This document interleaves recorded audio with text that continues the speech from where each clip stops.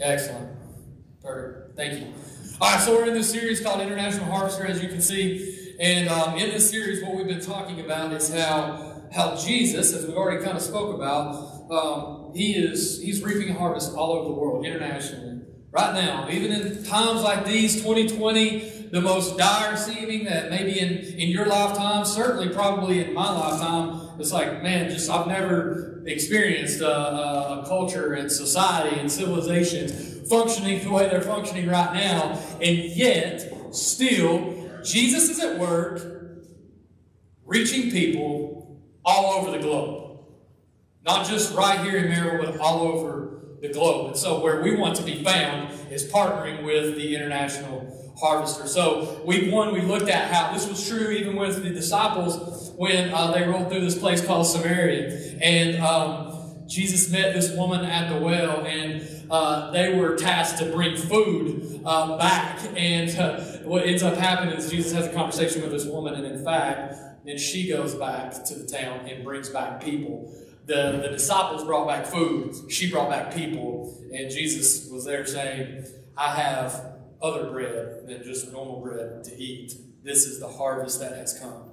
And so we want to be found like the woman. We want to be found like the Samaritan woman, not the disciples, the ones who should have been the example. We want to be like the Samaritan woman, the one who's bringing the harvest, partnering with Jesus. And it's expect the unexpected was the point there. Expect the unexpected because Jesus was the unexpected Messiah. The reason everyone was struggling is because they didn't expect right? So they were blinded to what Jesus actually was. They had an expectation of the Messiah that blinded them from the true Messiah. And so what we looked at is listen, expect the unexpected. When the unexpected begins to happen, expect the unexpected one to show up and do something unexpected. That was a lot of, but I think that made sense. Right? And then uh, week two, we looked at how Jesus brings meaning out of mundane things. We looked at the wedding in Cana and, and, how these people, they just filled up water jugs. So Mother Mary, right, she says, she says, listen, whatever, whatever Jesus says, you do that. She says, in the sermon right there. Just whatever Jesus says, do that. That's great advice.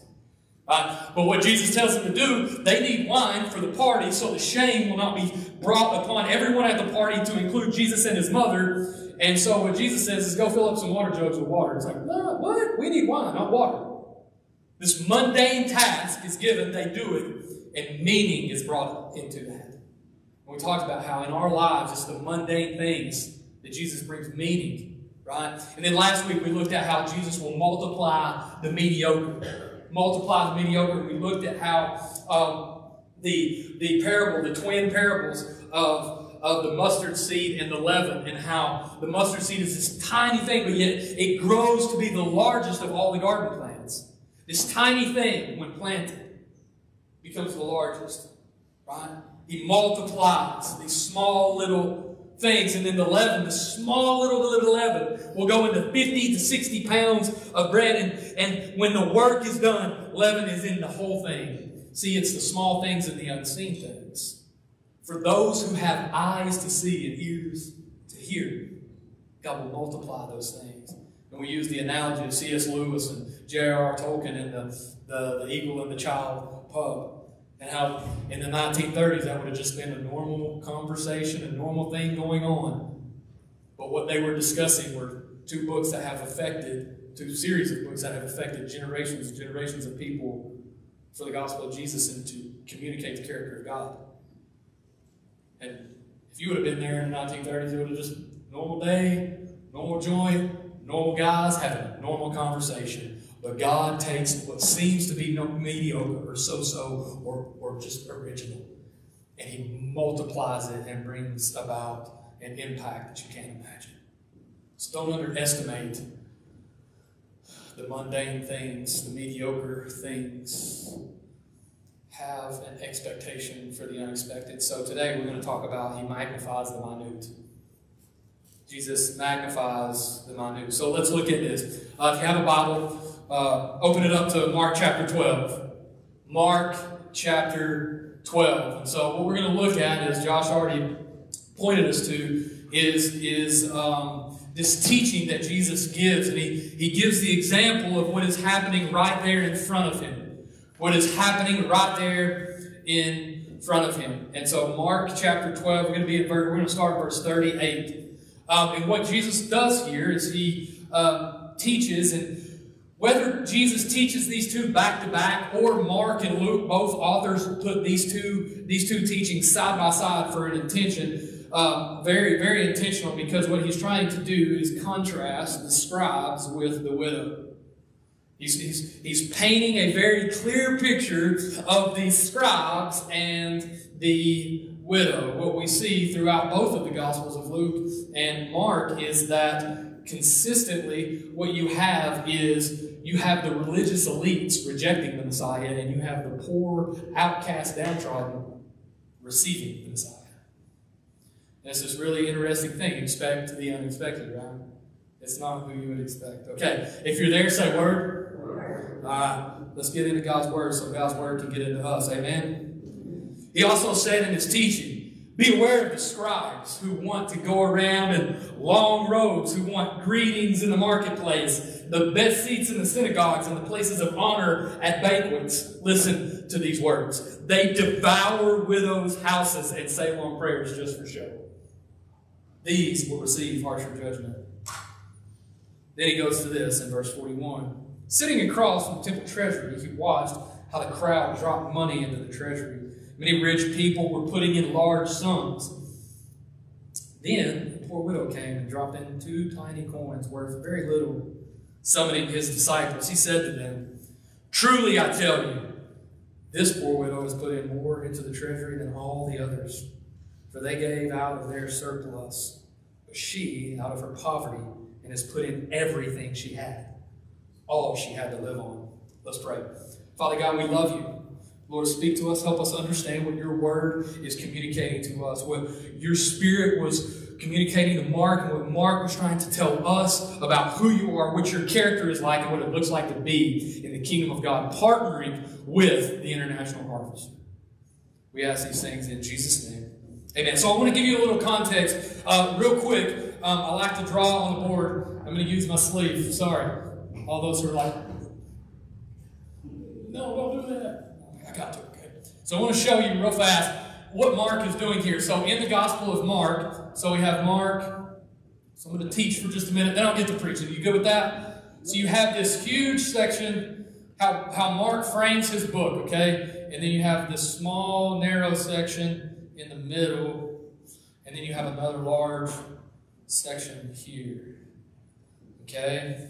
So chapters chapters uh, 1 through 8, we'll say 8b. What happened? Oh, we got to make more markers. Look at you. Amen. a wife is a good thing. A man who finds a good wife is a great thing. Amen? So chapters 1 through 8b, what Mark is attempting to do here is, is show you who who Jesus is.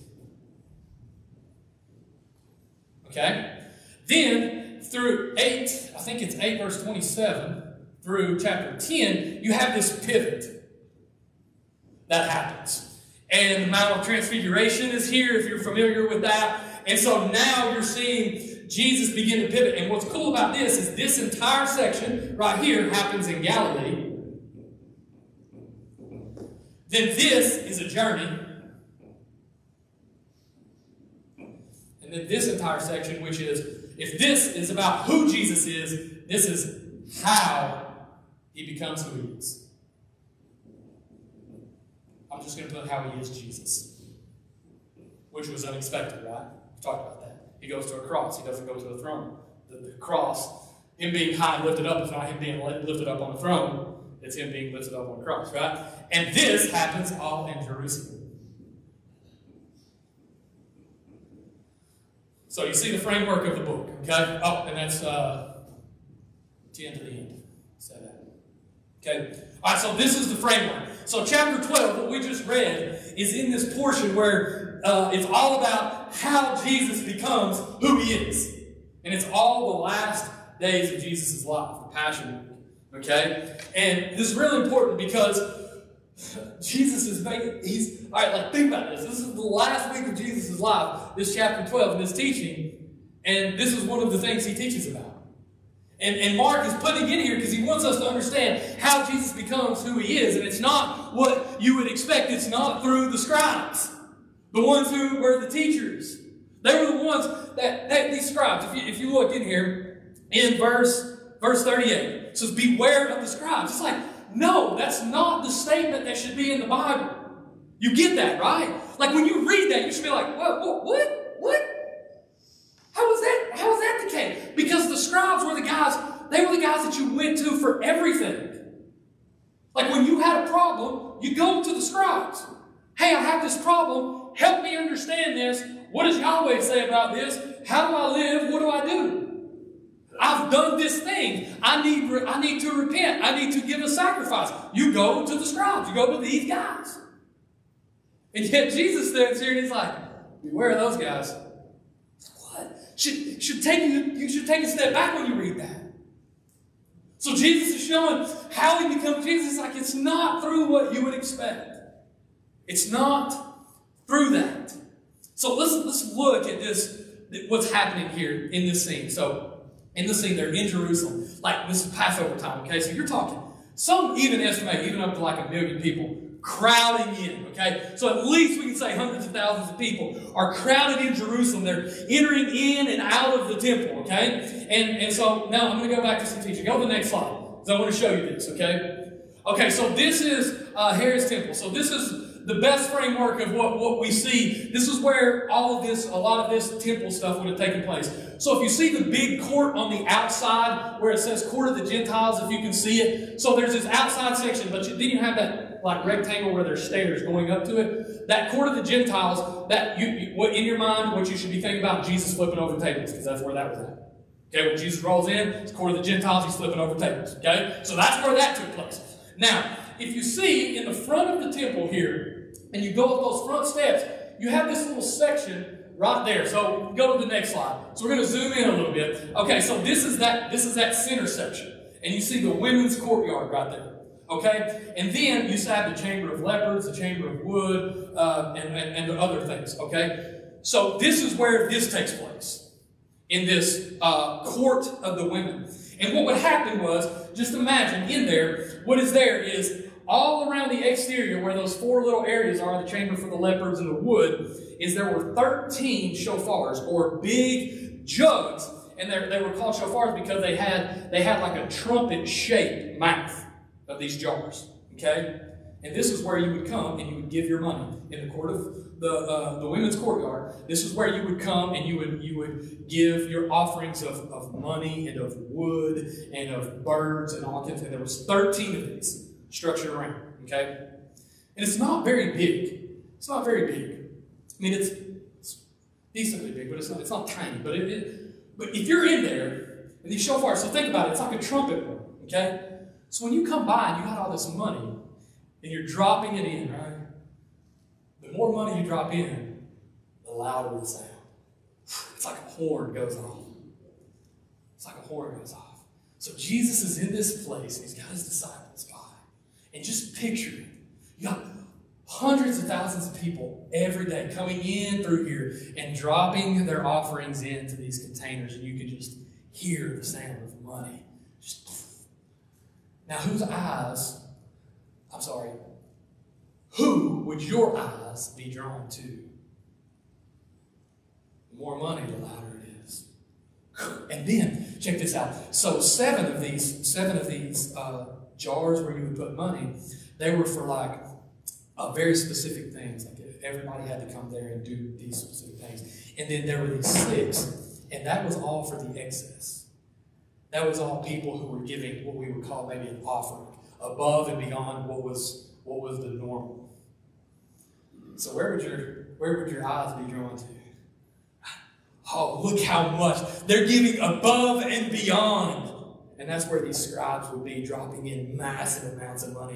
And you would hear the money clink, clink, clink, clink, clink, clink, clink, clink, just dropping in there, just the sound of it. And Jesus says they wore their long robes and they dropped their money in there as loud as they possibly could so that the sound would reverberate and everyone's eyes would be on them. But Jesus had eyes to see and ears to hear.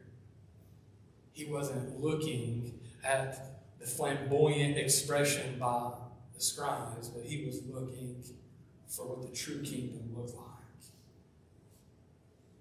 He saw over there where the poor people would go. A little bit, just meeting the, the, the least requirement. And Jesus had the ability to hear those two coins above all the other coins. Jesus had the eyes to see a poor woman who was, who was in raggedy clothes instead of seeing all the wrong robes of the scribes. And he says, Dad, disciples, come here. Come here, come here, come here. I know everybody's focused over here right now. But my kingdom's like this over here. Look, look. And what does he say? He says, She put in more than all the rest. Now, is that a true statement? Well, in one sense, yes, and in another sense, no, right? You got these scribes who are dumping in massive amounts that heard uh, two little coins, which were uh, uh, leptons, I think is the proper term. Uh, uh, they're, they're 164th of a denarius. So she put in two. A denarius is one day's wage. So she's 264. I know that's not, you know, whatever you do with fractions, because that's, I know you could like minimize that down. What would that be like? One thirty second. Yeah, there we go. One thirty second of a day's wage. I don't do math in public, man. Theology, apologetics, those of things. All right. One thirty second, so y'all have said, of a day's wage and she put more in. He says, that's what the kingdom is like. Isn't that different? Isn't that different? Isn't that unexpected? Like that's different than anything else. Like, see, it says that they would go out and they would want greetings. You ever been around those people who they don't have to go shopping? People just solicit them to buy their stuff. They got that much money. It's like you can see it. You know, they got so much money. It's like they don't have to. Like people just come out and like, hey, I got this thing, this thing, this thing. I, you know, and people know that they, they, they have access. And this is one of the things, man, that we have to understand in our society. Like, we're the scribes. We are in the top 1% of the world. Top 1% of the world. So if we're listening to this, like we have to put our feet and shoes inside the scribes and say, man, this is, this is probably most likely where we would fall if we're honest with ourselves. And that's really that's really hard because we can look around at other people who are way better off than us. We're like, yeah, but but so and so, but so and so, but so and so, but but let's get a let's get a biblical world view because it's not just about where we live. We serve the international harvester who's reaping harvest all over the world. So we need a world view. We need a biblical one at that. So this would be. This would be us. And Jesus says, listen, listen, listen, listen, listen. It's not about all that. I want the best seats and honorable seats, and it's all for show. It's all for show. It's all for Facebook. It's all for Instagram. It's all for likes. It's all for. We'll just keep piling on. It's all for this image. It's the show. And Jesus says, listen, it's motive that matters. It's the motive behind what you give. And then that, that, it can be the most minute thing, but I will multiply that because the motive is right. It's not the scribes who become the story that we have been telling for the last 2,000 plus years. This, one of a day's wage is what this woman dropped in this bucket. We've been telling her story for 2,000 years. You think that's that's magnifying rather than minute, isn't it? Come on, who do you want to be? Like who? Which, which one in the story do you want? Jesus is contrasting two for an intention that we would look at them and say, okay, now let's make a choice. Who are we going to be? Are we going to be the scribe or the poor widow? Where is our heart going to lie? That's the question we must ask ourselves. Do we have eyes to see and ears to hear like Jesus? Because he is the one who will take even the most minute little bit and he will multiply it through the ages. He will make it magnificent. I've been thinking about this. Eleanor loves to, uh, she loves to go around with this thing. Her papa got it for her, and uh, and so she goes around. She's she plays spy all the time. She's got this magnifying glass. It's really fancy, actually. I don't know what this is. I don't know. I don't know. But you know, she's clearly like put her mouth on her JoJo. It's disgusting. But uh, but it's this magnifying glass, and some things happen when because Jesus magnifies the minute. He makes magnificent the small things, just like this poor He was able to, he was able to step in here and focus. Yeah, here, here, here, here go. This is what a magnifying does. It, it brings increase to something, right? Like when you when you put this over this text, it gets bigger. Now it doesn't actually change this. It was still one thirty second of a day's wage. Is that right? One thirty second of a day's wage. But yet, Jesus had eyes to magnify something. He's got ears to magnify something. Boom, it makes it bigger. It's bigger to me. Uh, if you can see it, you can imagine it, right? You can imagine it. Side note, this has nothing to do with the message.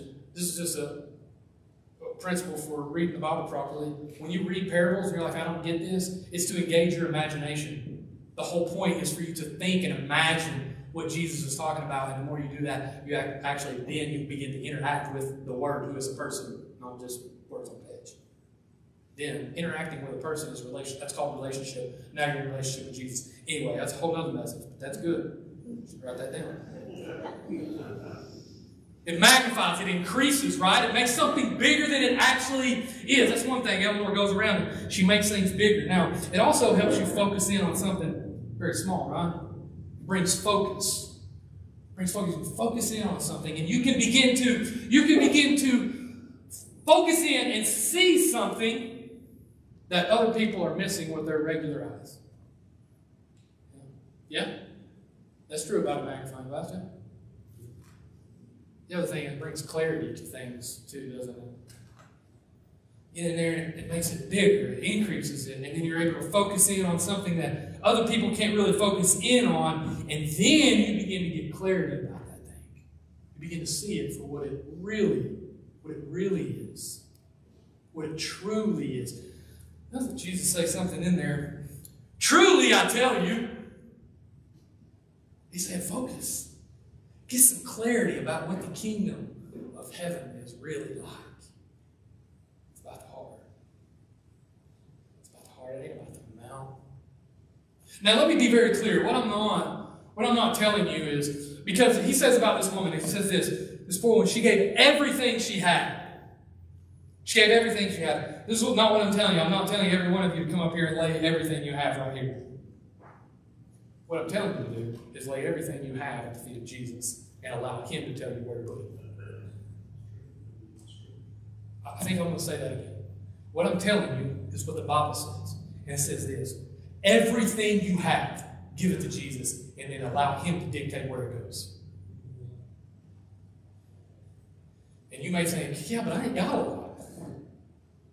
There's a lot of people out there who's got more than me. They got long roads and people greet them. He ain't worried about that. He's worried about a heart. The kingdom of heaven is like a person who has a proper heart in their giving, and he will magnify that. He will make it increase. He will bring focus to it. He will direct it to the proper place that it needs to go. And then he'll bring clarity about that. He'll bring clarity in that. Now, what does this mean for us? What does this mean for you? Well, one thing that I would say, here's a couple, here's a couple things. God's ruler forgives. God's measuring stick for gifts, For what you give is sacrifice. It's not the amount. Some authors would say that it's about which it's about how much you have left over, not how much you give. In the kingdom of heaven, listen to this. The gift that counts is the gift that costs. Everybody put your feet out, because that stepped on my toes. Right? The gift that counts in the kingdom of heaven is the gift that costs. That's hard to swallow. And this is the thing no gift of love is too small or insignificant. For Jesus takes the insignificant and makes it magnificent. He magnifies it. So, practically, what does this mean? How does Jesus make magnificent the minute? How does he do that? Well, we saw one story where we're still telling that story, right? And, and in a message a couple months ago, I preached this and I said, you know, when you risk it all for Jesus, it's not a risk at all. We talked about Rahab. And said two things will always happen. This is a promise that God, God gives us. It's a promise, no doubt, 100%. Two things. When you give this way, a gift that costs, God will deepen your relationship with Him and He will use your story as a catalyst for others. Every time, every time, every time, every time, every time, take it to the bank. So that's one thing. But like a magnifying glass, He increases. Let me let's put it this way. It said that the widow put in more. I've kind of explained that already. Now, let me, let me just give you some context here, okay? You go to Honduras or Kenya with, with uh, uh, Tanya and Keith, like one meal. Like, check this out. One meal here in America. You could not go out to eat with your family one time, take that money, send it to Kenya or Honduras, and you're going to pay for a kid's school for an entire month, their meals for an entire month, and a uniform. That's increasing something, isn't it? Like, try to do the same in America with that amount of money. See, God's real good at things like this, making increase. So this is why we're partnering with Him all over the world, not just here. I said the second thing that it does is it brings things into focus. So it's not just for others, it's for you. When you begin to see Jesus, he had eyes to see and ears to hear, and what he did was he focused on the widow in that moment. And what he's communicating to everybody is something about himself, which is what his purpose and passion is. It's about the hearts of men. So when you do the same thing, when you begin to give, you begin to give, what God will do is he'll begin to reveal your passions and purposes. What, what really lights you on fire the areas. He'll bring the focus. He'll focus you in on a specific area. And you'll begin to realize that, man, God gifted you, gave you passions, and gave you purpose in this specific area. And then the third thing happens clarity. Clarity, right? You begin to see, see it in a way that nobody else sees it. This looks like this. He brings clarity this way. You'll learn more about that thing. Let's. I'll, I'll read one more passage. Matthew chapter 6, verse 21. I'm sure you've all heard it before, but I'm going to go read it. I want you to listen to what it says. Matthew chapter 6, verse 21. For where your treasure is, there your heart will be. Where your treasure is, there is where your heart will be. Will be. Will be. So he says, where you put your money to, then that's where your heart follows where you put your treasure to, where you put your time, the things that you value the most time, talents, treasures. That's the things you value the most. Where you put those things to, where you put that energy to, that's where your heart's going to be. So, in reverse, what can we do? We can look at our banking statement and we can see where our heart is. See where our heart is. So as we start to give, even if it's just a minute, even if it's 132nd, what begins to happen is our heart begins to be molded and shaped, our passions and purpose. We become invested in that thing. And this is what I know about investing. When you invest in something, you learn about it. You learn about it. You get more clarity about what you're investing in. You, you figure out that it's a, it's a passion and a purpose that God's given you, so you learn more about it. And then this is what happens. You invest more strategically, don't you? Once you learn more about it, you're like, okay, okay, now this is a specific area. This is how I can invest. This is how I can invest. You know what God does when you start investing strategically in something? He just, he, he just going to keep bringing in opportunities. Uh, there's two people sitting right there. It's just what more opportunities than you want sometimes.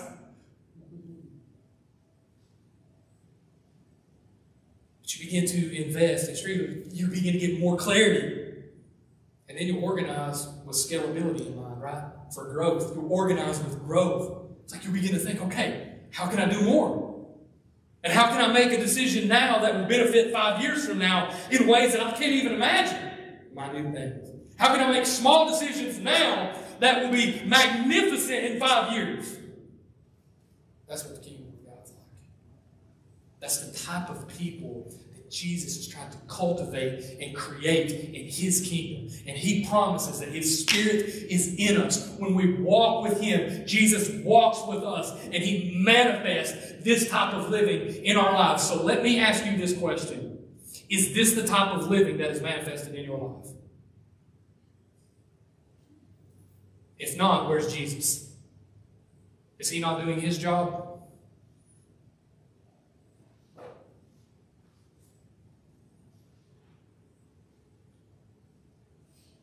I guess that's a rhetorical question. I think we all know the answer yes. So, my question to us, church, is are we going to be a church that's found partnering with Jesus? manifesting the way of Jesus? Are we going to walk the way of Jesus? To include what's in our back pocket or in our pocketbook or whatever you carry your money in or just in the bank. Is that going to be a part of it? And you may say to yourself, I don't have a whole lot. I only have a little bit. Okay, awesome. Jesus is not worried about the amount. He's worried about the heart, the motive. And when you begin to give, listen, I promise you, he'll blow your mind. He'll do things through you that you never could have thought or imagined. He'll take you places that you never thought you would go. It's, not about me, but I mean, I'm just a country boy who grew up in Morristown, of all places. And God's given me the opportunity to preach the gospel on the Amazon to Amazonian tribes. I've got to hike through Kenya with Keith and share the gospel with people who, if they've ever seen a white person before, it's like once, maybe on a video. We have to go and share with believers in a country where it was the, at the time it was the third most hostile country in the world for, for to be a Christian.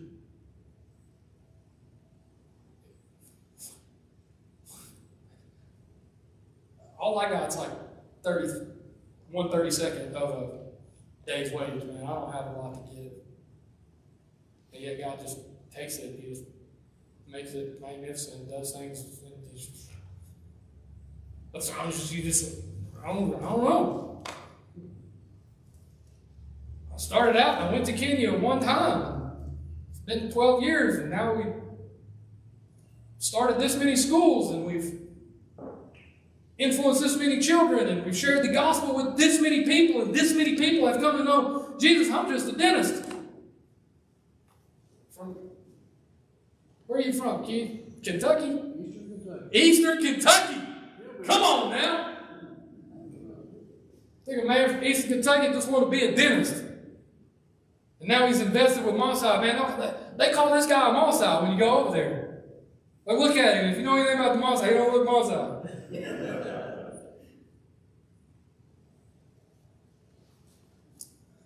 when you give it all to Him, He'll take whatever all is, no matter how small or how big, He'll make it magnificent.